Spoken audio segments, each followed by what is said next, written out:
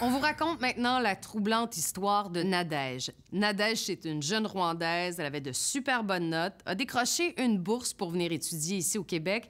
Mais juste avant de partir, elle comprend que la vraie mission que lui a réservée son gouvernement, ce sera d'espionner ici. L'espionnage, on l'associe souvent à de grandes puissances comme la Russie ou la Chine. Pas un pays comme le Rwanda.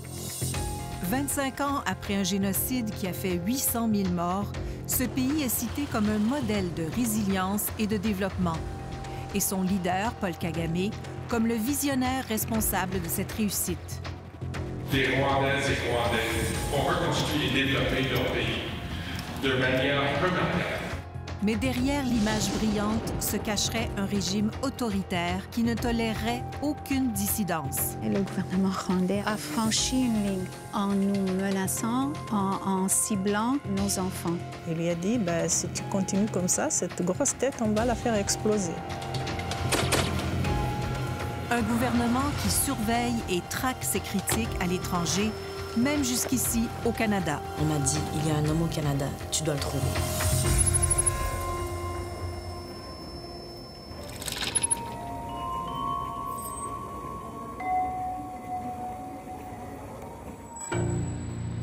De l'Agence canadienne des services frontaliers à Montréal. Un agent interroge une Rwandaise qui veut obtenir l'asile politique au Canada. Ce qui suit est une reconstitution des faits à partir des transcriptions de cette audience. Je suis ici en tant qu'agent d'exécution de la loi pour l'unité sécurité et crimes de guerre. C'est une demande d'asile particulière. La Rwandaise, que nous appellerons Nadège, affirme être une espionne et l'agence enquête. C'est à quel moment qu'on vous a dit, à partir de maintenant, euh, tu t'en vas espionner des personnes et on veut tel renseignement? En 2010, je devais espionner un homme dans le but de chercher de l'information sur ses parents. On m'avait dit qu'il travaillait avec des gens qui font du terrorisme au Rwanda. Toutes ces personnes-là qui se sont enfuies à l'extérieur du pays, ce sont des ennemis. OK. Donc, on doit les chercher et les combattre.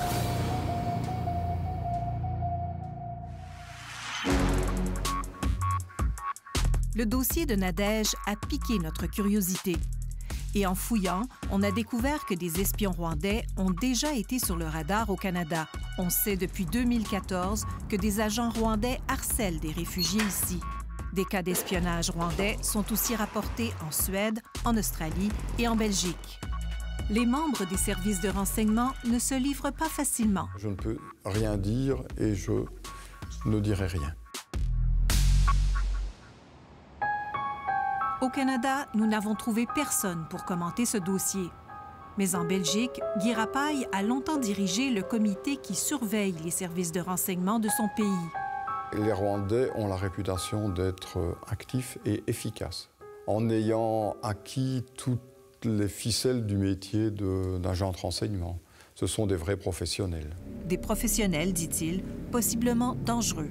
En 2017 et 2018, j'ai été informé de l'arrivée en Europe de membres de services de renseignement rwandais qui étaient chargés d'éliminer des opposants, euh, ou du moins de faire des pressions sur des opposants potentiels pour les obliger à se montrer discrets.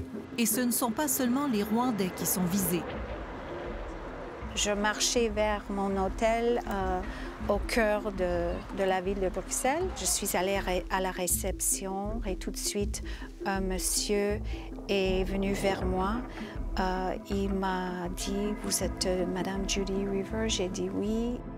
En 2014, Judy Rivers se trouve justement en Belgique lorsqu'elle est abordée par un représentant de la Sûreté de l'État. Il lui dit que sa sécurité est sérieusement menacée. La Montréalaise est une journaliste et auteure indépendante. Elle enquête depuis plus de 20 ans sur les événements entourant le génocide au Rwanda. Ah, j'étais bouleversée, j'ai dit pourquoi. Et il m'a dit qu'ils avaient les informations crédibles que l'ambassade rwandaise en Belgique constituait une menace contre ma vie. Deux gardes du corps en voiture blindée vont la suivre jour et nuit durant son séjour d'une semaine en Belgique. Pour la première fois dans ma vie, je me suis dit, c'est très sérieux, c'est très dangereux et le régime est prête à faire tout ce qu'ils peuvent pour m'empêcher de travailler. À l'époque, Judy River prépare un livre pour remettre en question la version officielle du drame rwandais. Une version trop simple, selon elle, de bons et de méchants. Son enquête s'annonce dévastatrice pour le gouvernement Kagame. L'histoire euh, du génocide, euh, l'histoire euh, officielle est ceci. Les Hutus sont des bourreaux, sont les méchants, et les victimes sont les Tutsis. Le 6 avril 1994, le président rwandais Habyarimana, un Hutu, est tué dans un attentat d'avion. C'est l'étincelle qui déclenche une frénésie de violence contre la minorité Tutsi. Le génocide ne prend fin que lorsque les rebelles Tutsis du FPR, le Front patriotique rwandais, dirigé par Paul Kagame, envahissent le pays. Il y avait des informations durant le génocide, des rapports qui indiquaient aux Nations unies à l'époque que les troupes de Kagame tuaient en masse des réfugiés, des déplacés Hutus dans l'est du Rwanda. Dans son livre, la journaliste reconnaît le génocide contre les Tutsis. Mais son ouvrage est très controversé parce qu'elle affirme que les troupes de Paul Kagame ont aussi tué au moins 500 000 Rwandais pendant et après le génocide, surtout des Hutus.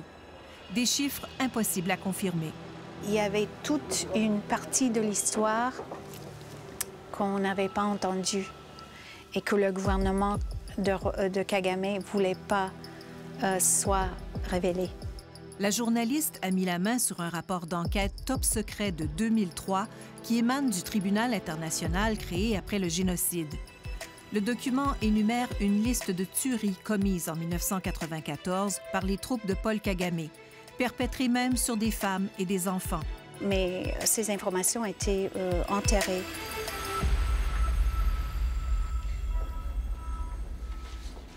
Nadège, la jeune espionne rwandaise, a accepté de nous accorder une entrevue pour nous raconter son histoire. Mais elle craint pour sa sécurité. Nous avons donc décidé de cacher son identité et de changer certains détails de son récit. Je faisais mes études universitaires à Kigali. On nous a appris qu'il y avait des bourses pour aller étudier à l'étranger. On m'a dit que j'avais eu la bourse de la francophonie et que je devais aller au Canada. Nadège dit qu'elle croyait que la bourse était une récompense pour son excellence scolaire et pour son travail de cadre au sein du FPR, le parti de Paul Kagame. J'ai donc commencé à faire les formations. Tout se passait bien jusqu'à la dernière rencontre qu'on a eue, qui était au camp militaire de Gako. C'est là que, que j'ai appris que je devais faire ce, ce travail d'espionner quelqu'un. Elle affirme que des militaires donnaient cette formation à laquelle assistaient une trentaine de personnes. La formation consistait justement à comment trouver des informations, comment approcher les gens, comment se comporter, quelles sont les armes à avoir. C'était comme des mises en situation. Est-ce que il y avait beaucoup d'autres étudiants comme ça qui partaient à l'étranger euh, avec des missions pour espionner? Je ne sais pas, on ne pouvait pas le savoir. Ce qu'on répétait à chaque fois, tu dois être quelqu'un de discret, de secret. Personne ne le savait à part moi même pas mon mari.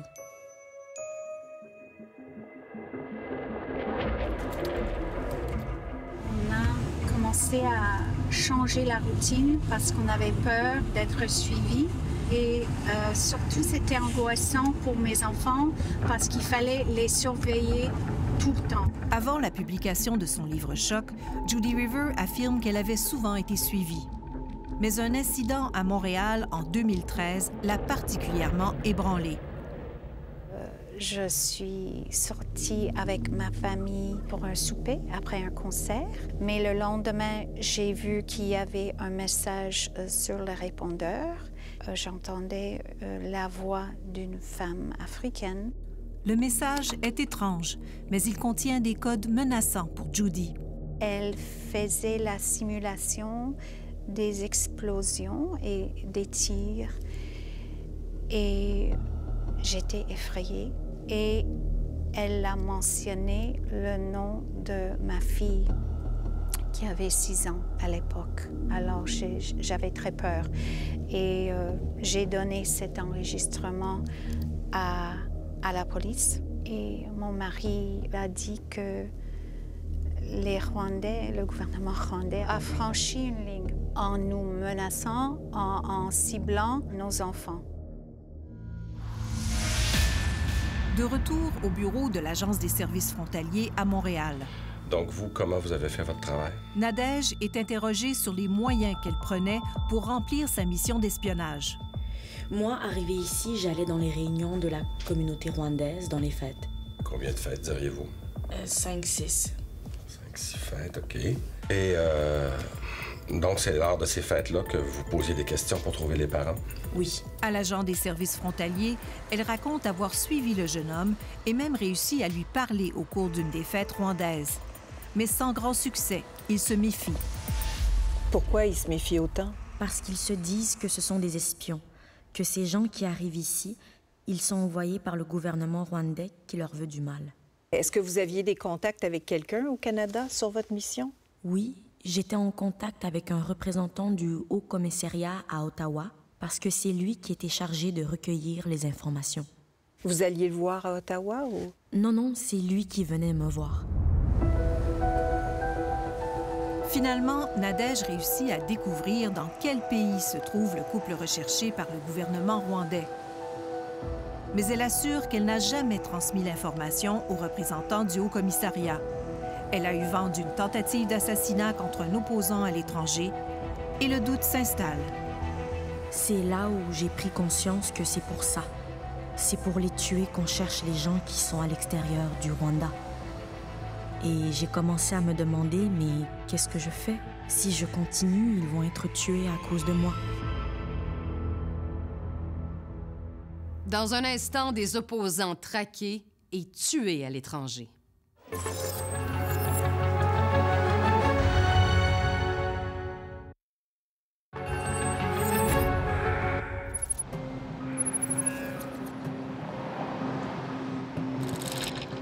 Les premières années du gouvernement Kagame, des exilés rwandais auraient été ciblés parce qu'ils en savaient trop sur le régime.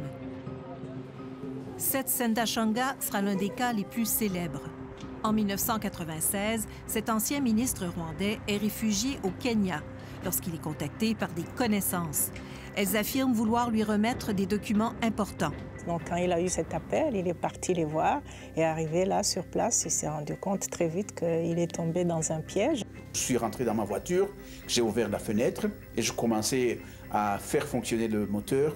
euh, que j'ai vu le jeune homme sortir un pistolet et me tirer à bout portant. Et la balle qui était destinée à ma tête n'a finalement touché que euh, mon épaule ici.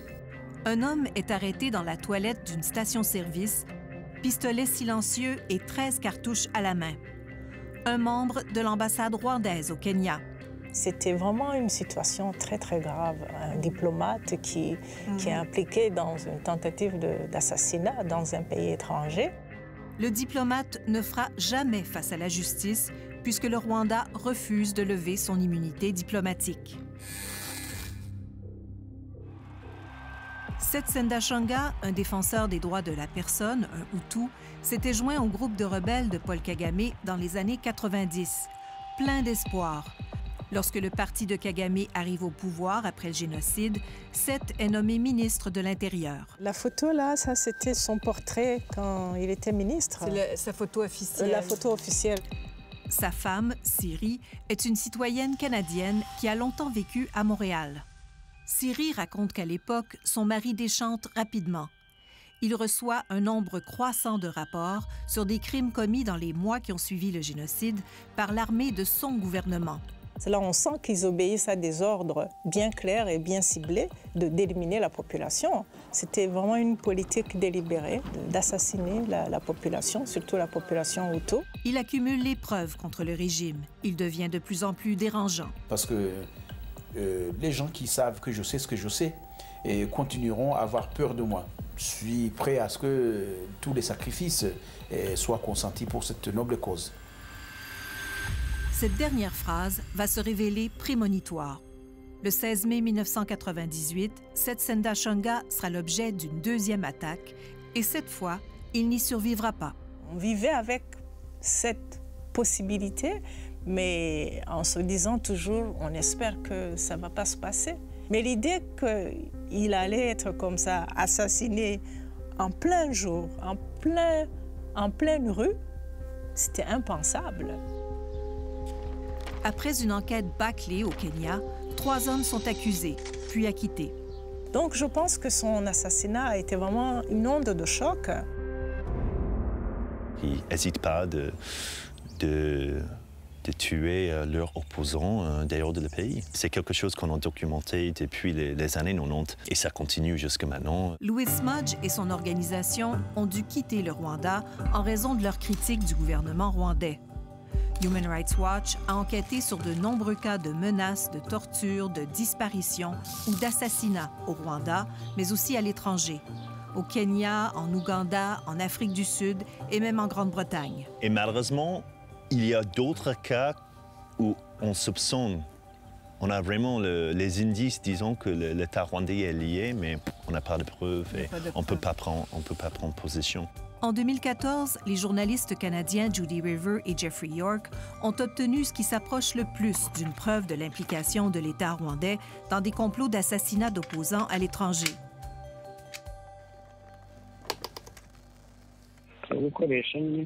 Il s'agit simplement de te procurer les armes et de faire le travail. Nous sommes en 2011.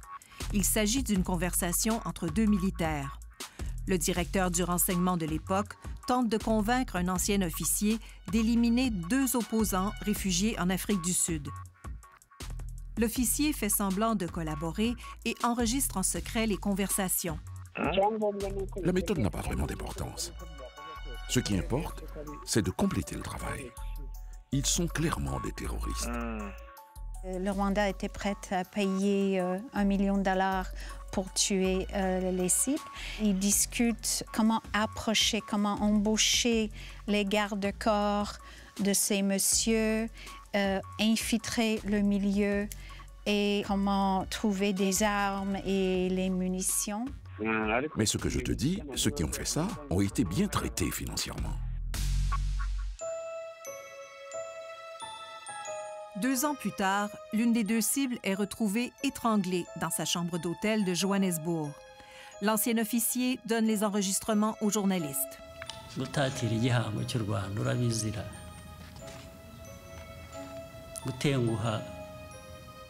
En réaction à cet assassinat, le président Paul Kagame tient ses propos troublants.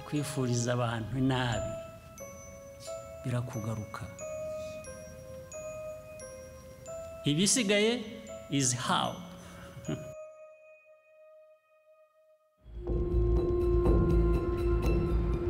Au Québec, Nadège est ébranlée par ces attaques contre des opposants.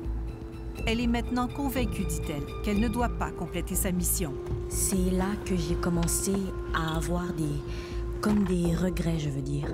C'est là que vous vous êtes dit, je veux pas transmettre cette information. Euh, c'est ça, ouais. Elle affirme que le représentant du Haut Commissariat s'impatiente devant son peu de progrès. C'est là qu'il m'a dit il faut avoir des informations coûte que coûte.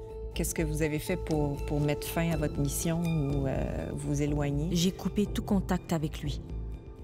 Nous avons tenté à plusieurs reprises de corroborer les affirmations de Nadège auprès du Haut Commissariat du Rwanda à Ottawa, sans succès. Selon son avocate, le Canada devrait accorder l'asile politique à Nadège, même si elle a commis un acte d'espionnage. Elle n'a pas terminé sa mission. Elle n'a pas révélé euh, l'intégralité de l'information sensible qu'elle a pu recueillir. Donc, il n'y a pas de euh, vies qui ont été mises en danger. Aussi, le, gouvernement canadien, il, doit donner l'exemple de encourager les gens qui ont été envoyés comme ça euh, sous la contrainte pour espionner à l'étranger. on doit permettre à ces gens-là euh, d'avoir une porte de sortie. En octobre 2014, la décision du tribunal de l'immigration tombe. La demande est rejetée. Le commissaire conclut que Nadège a effectué de l'espionnage et que cet acte d'espionnage contrevient aux valeurs de tout État démocratique et est donc contraire aux intérêts du Canada. Selon le commissaire, Nadège a accepté volontairement d'espionner en échange d'une bourse d'études la Rwandaise devra être expulsée du territoire canadien, à moins d'un ultime recours.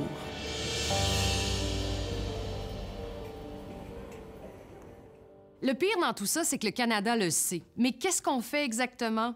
La suite de notre enquête après la pause.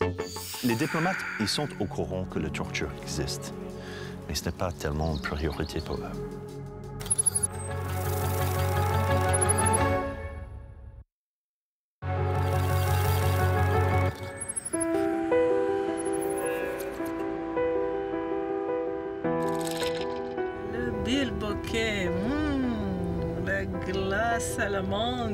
C'était ma favorite. Tout Montréal venait chercher la glace ici. 20 ans plus tard, Siri Nikuzi Sendashonga cherche toujours les assassins de son mari. Pour moi, c'est absolument un- important qu'on identifie comment, pourquoi et par qui il a été tué. Et je pense que pour moi, pour mes enfants, pour ma famille et même pour la, la société rwandaise de manière générale, euh, un crime, il faut qu'on identifie les auteurs et que justice soit faite. En fait, qui pensez-vous l'a tué? Vous êtes persuadé que c'est le gouvernement?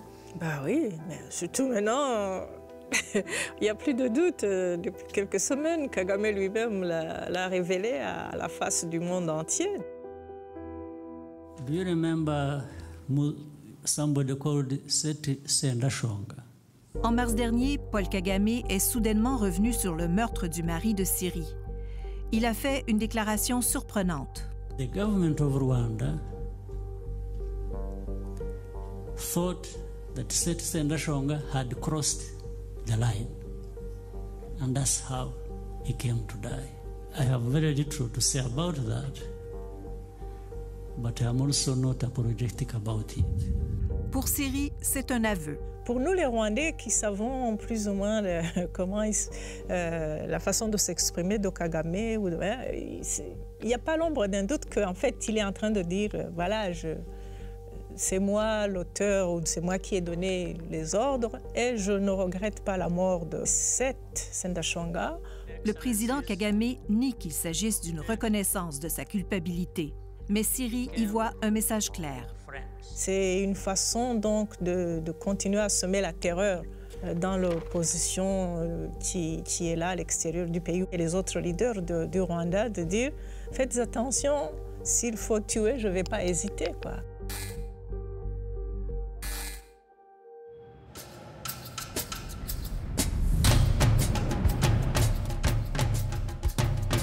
5 juillet dernier au Château Laurier à Ottawa. Le Haut-Commissariat du Rwanda organise une soirée pour le 25e anniversaire du jour de la libération qui marque la fin du génocide. 25 ans après, le Rwanda est fier de ses accomplissements en termes de stabilité, de développement, de démocratie, beaucoup de ces valeurs que nous partageons avec le Canada. Le représentant du gouvernement canadien n'a que de bons mots aussi sur l'évolution du pays depuis 25 ans. J'ai pu constater avec mes propres yeux tout le travail que les Rwandais ont fait ensemble pour bâtir un meilleur pays. À l'étranger, le Rwanda est souvent présenté comme une sorte de Singapour africaine où règne ordre et propreté. On souligne ses progrès en matière d'écologie et d'égalité entre hommes et femmes. Mais Siri, la veuve de Seth Sednashonga, voudrait que la communauté internationale s'intéresse aussi au côté plus sombre du régime. Mais aller regarder côté droit, la situation des droits de l'homme, d'accepter que l'opposition puisse s'exprimer librement, la liberté de la presse, non, ça, personne euh, ne veut pas, ne veut pas trop entrer là-dedans, quoi. Des pays comme le Canada, à mon avis, tous les pays peuvent faire quelque chose. Surtout les pays qui entretiennent des, relations avec le Rwanda, qui l'aident euh, en termes de- d'aide au, au développement, ils pourraient quand même demander des, des comptes. Le Rwanda reçoit environ 1 milliard de dollars par année en aide internationale. Le Canada lui a versé plus de 650 millions de dollars depuis 1994. Mais Ottawa se montre plutôt discret lorsque vient le temps d'aborder la question des droits humains au Rwanda. C'est un régime qui, euh, qui n'a pas beaucoup de tolérance, justement, euh, face, à la, face à la critique. Marie-Ève Desrosiers de l'Université d'Ottawa étudie le Rwanda depuis plus de 15 ans. J'ai plutôt l'impression que le Canada adopte euh, la position de, de, le faire lorsque possible, de soulever la question lorsque possible, mais pas de fa façon euh, directe et confrontationnelle. Ben, écoute, les choses marchent. Ça va, il n'y a, pas, a pas une guerre. Louis Mudge de Human Rights Watch croit que les pays donateurs ne voient pas trop l'intérêt de confronter le régime. Les diplomates, ils sont au courant que le torture existe. Ils sont au courant qu'il y a des gens qui sont portés disparus. Mais ce n'est pas tellement une priorité pour eux. De fait, les propres rapports internes d'Affaires mondiales Canada dressent une longue liste de problèmes.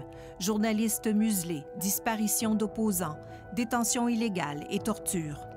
Il est clair que le régime se durcit, selon Marie-Ève Desrosiers. J'aurais tendance à vous dire que justement, un des gros problèmes de cette tendance à avancer de manière euh, indirecte et très diplomatique, euh, je pense, a laissé beaucoup, beaucoup d'espace euh, au régime pour s'affirmer et, et, prendre des tendances de plus en plus euh, autoritaires au fil du temps. La posture canadienne est, et, et devrait être une posture effectivement plus ferme aujourd'hui. Pour le spécialiste en aide humanitaire, François Audet, le Canada devrait revoir son approche face au Rwanda. D'avoir été solidaire euh, suite au génocide, c'était évidemment fondamental euh, de pouvoir, euh, de laisser à la population rwandaise toute la chance et, l'opportunité de se reconstruire. Mais bon, le temps a passé et je crois qu'on ne peut plus laisser l'espace à, à un président aussi autoritaire. Nadège est persuadée que sa sécurité serait menacée si elle devait retourner au Rwanda. Malgré l'avis d'expulsion qui pèse contre elle, il lui reste une dernière chance pour obtenir l'asile ici. Convaincre les autorités que les risques qu'elle court au Rwanda sont plus grands que la menace qu'elle représente pour le Canada. Je pourrais être maltraitée ou tuée si je retournais au Rwanda. Parce que oui, en ne remplissant pas ma mission d'espionnage, j'ai trahi le gouvernement rwandais. Il y a une menace à sa vie. Elle risque la torture, elle risque d'être tuée. Euh, je ne pense pas que euh, le sang de cette dame euh, devrait être sur les mains du gouvernement canadien. C'est Nadège elle-même qui a divulgué avoir fait de l'espionnage. Elle se demande maintenant si c'était la bonne décision. Moi, j'espérais que le gouvernement canadien protège des gens comme moi, qui se sont retrouvés dans des situations comme la mienne. J'aimerais être en paix ici au Canada. Ça fait environ cinq ans que j'attends la réponse des autorités et mon espoir commence à se perdre.